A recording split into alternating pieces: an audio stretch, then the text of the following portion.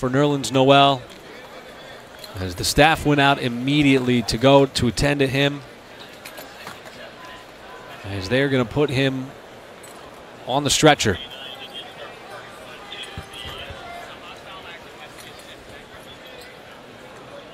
So we'll step aside here in Oklahoma. Of Andrew Wiggins. Let me first of all say that, folks.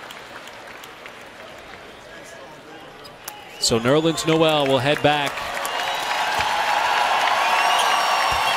with a round of ovation from this OKC crowd. And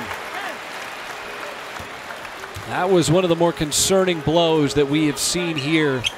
It's one thing when it's a knee or an ankle, but it's a whole different ball game when you're talking about someone's head. Turnovers by the Timberwolves. Team that doesn't turn it over very often, just the eighth of the night. Westbrook, the second. It's like the Westbrook Express all of a sudden, leaving the depot. And